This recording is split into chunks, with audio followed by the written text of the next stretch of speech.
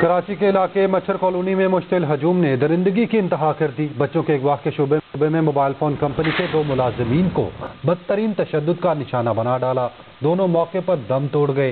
Mobile phone company के engineers और driver की मौत पर पुलिस ने तीन मुलजिमों को गिरफ़्तार कर लिया। पुलिस ने डॉक्स कॉलोनी थाने में कत्ल, दहशतगर्दी समेत दीगर दफात के मुकदमे दर्ज किए।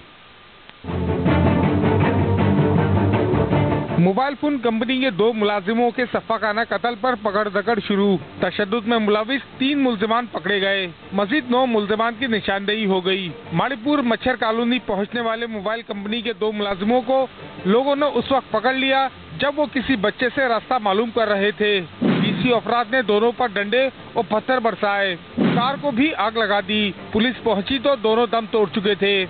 टेलीकॉम कंपनी के एम्प्लॉज थे दोनों। और यहाँ पे सिग्नल चेक करने के लिए आए हुए थे। और इसमें जो है ये स्लम एरिया है, यहाँ पे अचानक जो है ये अफवाह फैलाई गई कि यहाँ पे बच्चों को अगवा कर रहे थे।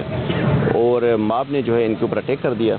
ठट्टा के रहायशी कंपनी के इंजीनियर 27 साल अमन जावेद की कुछ रोज बाद शादी थी, जबकि ड्राइवर इसाक पवर तीन बच्चों का बाप था।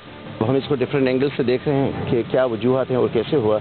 और इसकी एफ़ होगी और मेरिट पे जो है इसकी इंक्वायरी होगी और इन जितने भी कल्प्रेट्स हैं इसमें वो सारे के सारे अरेस्ट किए जाएँगे और कानूनी कार्रवाई की जाएगी।